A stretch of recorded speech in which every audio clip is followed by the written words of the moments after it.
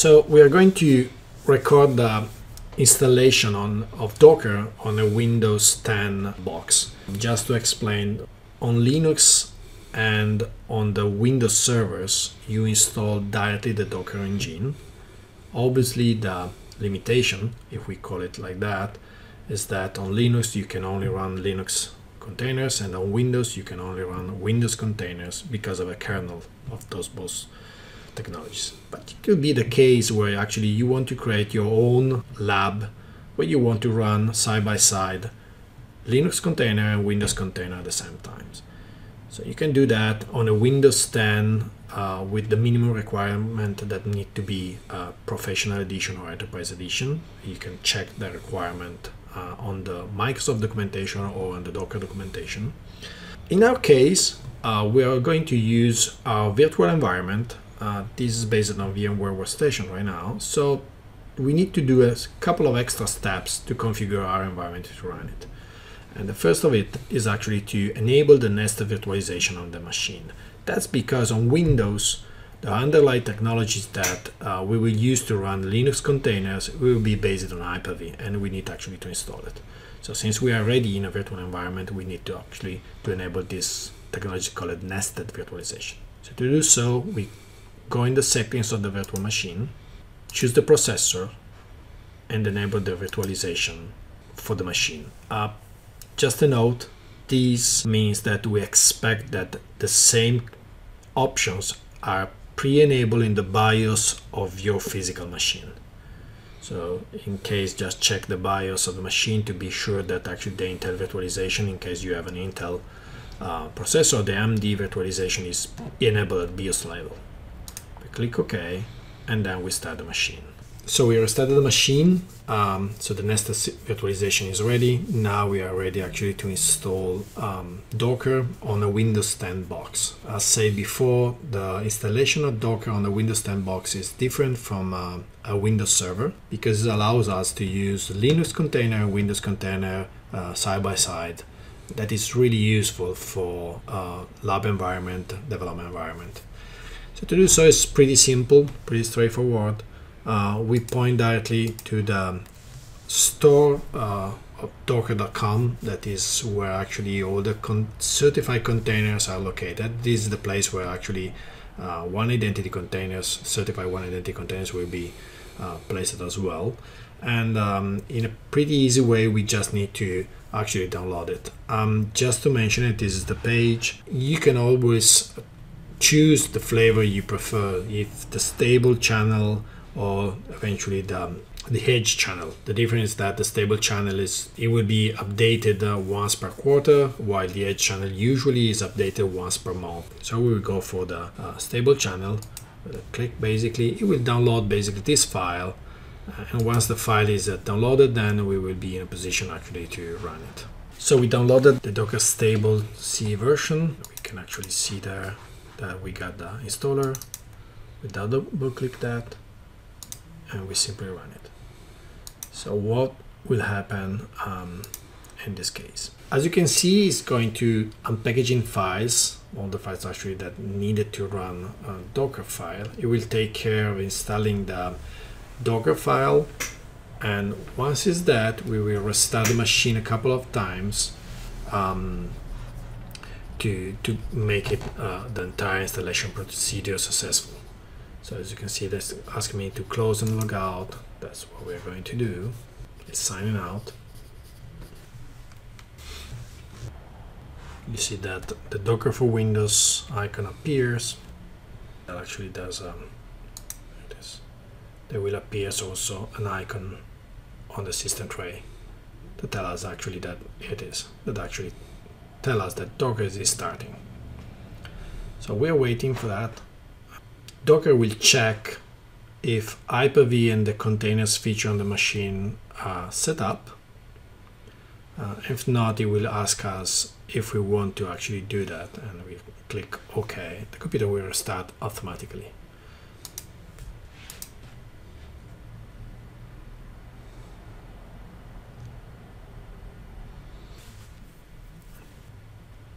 Okay, so we restarted the machine uh, we relog in as you see that the whale, the Docker is actually starting. Uh, so if everything goes right, what we expect is just have a, a pop-up that says uh, Docker is running. You can actually start using. Uh, and eventually you have to log in in the Docker app if you want actually to use your own uh, images. Okay, as you can see, basically the pop-up comes in and says Docker is running, uh, the way stop it to actually loading. So now basically we're in a position to um, open a PowerShell or a command prompt, exactly the same. And we are there. We can actually see that Docker is there. And as before, we check the version. Exactly the same version we installed uh, on the other machines. And again, let's try um, a simple command. This time is like, um, this info. This time we actually asked, okay, give me more info on Docker. What kind of Docker actually I'm running? And as you can see, actually, the host type is Linux. So we are inside the Docker for Linux version right now. Now, well, actually it's running because we are on a Windows box right now. So let's see a couple of details more. When the Docker whale actually was loading, what happened is that he installed Hyper-V, Hyper-V in this machine. And in Hyper-V, actually, what happened is that he created a specific virtual machine based on Linux that is not accessible, that act as, act as a proxy. And that's where your contain, Linux container lives when you run it on Windows 10. That's why it's different from the server. Um, so this machine actually can be managed directly from the whale, the settings of Docker for Windows. So if I right click on the on the whale, then I will see that I have uh, multiple commands. Uh, the most important for me right now is settings. Well, actually, I can change the settings of my Linux container. So this is what you see when you are on Linux version. So for example, you can um, mount your drives into a Docker Linux container so you can exchange data between one another. Uh, you can change actually the behavior of this machine. The memory and the CPU is based on the your box memory and machine. So if your box has, for example, in this case, I think is uh, 4 gigs RAM. Um, usually the maximum is 2 gigs to allow the, your your Windows box to still running. So if you if you increase the the memory, obviously you have more options. Um, you have a subnet network, you have netted networks being created for you where actually your container lives. So this IP and all these IP are reachable from from your machine. Eventually, if you are behind a proxy and your container need to connect to internet, even just to do updates and etc., you can use it that and you can eventually change the, the daemon to connect or use specific features. And as well you have the diagnose and feedback. If you want to actually have if you have issues you can actually interact with docker itself or you can reset your entire installation or restart docker for that. Now let's do a couple of things more. So as said we are in the um, um, we're in the Docker for Linux. So if we issue the command we used to see in, uh, we already seen in, uh, in Linux, then let's say that, let's see if it runs. So docker run dash it dash dash rm hello world. So what I expect again is that docker run please docker run a container for me in interactive mode show me what the container is doing and eventually let me interact with the container. Dash dash rm remove this container once its, job has been done. So once it's finished if I have nothing that is running exit from the container remove the container from a local uh, disk. And pool if it doesn't exist locally a container is called hello world. So connect to the docker hub the docker public repositories. Search for the hello world image and if it's not already in this machine please download it so I will basically do that so it can find local image so it actually is pulling that then once it's pulled run the container, create a container. This container has done this this operation and it out. Again, as before, I want to see if actually the container is still running. No. Docker PS show me every container that actually is running on this machine. Let me check if the container is in there. There's nothing. Let me check if there's image downloaded and the image hello world is there that show me that actually has a specific ID and the size. This is a Linux native Linux image. I'm going to remove this image with the RMI remove image and giving the ID of image from my store. And again, he untagged the image because I can have multiple tags for the image and it deleted the layers used by this image on my disk to free up disk resources. Now, without actually get out from the PowerShell, we will go to the whale and this time we will say please switch to Windows containers. So the whale actually is switching. You can do that by command line as well, but that is way it's finished. It said, okay, you're ready to run. So I'm going to do docker info as before, issue, and this time you see that it's a little bit different and the OS type is Windows. And this is quite important because it means that now we are on a Windows kernel uh, that is directly natively linked to my OS. So it's not using a NAT, but actually is working right now. So this means again that if I do previous command, I expect a different results. Let's see what it does. docker run dash it dash rm hello world. It cannot find the image locally as before because we removed it. It's actually pulling Please notice as the size of this image.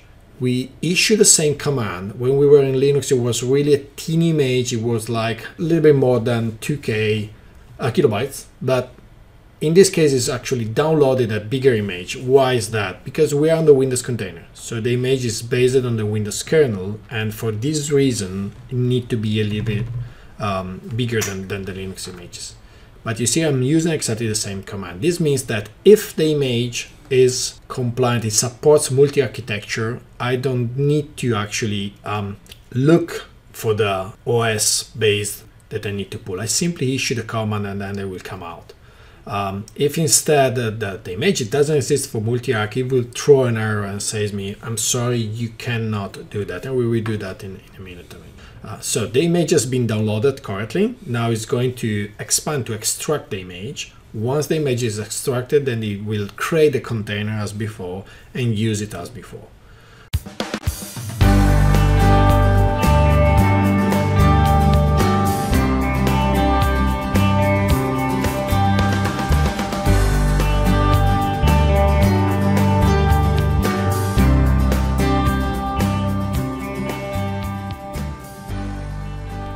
You should actually in the in Windows version um, change the colors but that's because here it was getting in an interactive mode into the image. It went for the usual text guide that comes from Docker then it came out from from the image. So now you actually if we um, check again uh, we can say docker ps let me show you if there's something that is running here and there's nothing. Docker ps dash a is there any container, even stop a container on my machine? No, because quietly remove the images. Please show me if there are any images on this box. And oh, that, has an image. The latest version is the tag, is one gigabytes of size, and it been created only 30 hours ago. It's auto updated and it's called hello world. And as before, I don't need this image anymore, so I'm going to remove it using his unique ID. So if there are multiple tags, I will eventually remove all the tags altogether. And you will see that the difference between this image on tag, uh, this image removal, and the other one on Linux, that will be probably that the, the layers are a little bit uh, more than the Linux one. If you remember, there were only two layers in uh, in Windows in Linux, and probably we'll have something around four layers in in, in Windows. That is untag he untagged the hello world with latest and then it deleted all, all the layers there. And now basically with that we are ready to start and, and, and use Docker.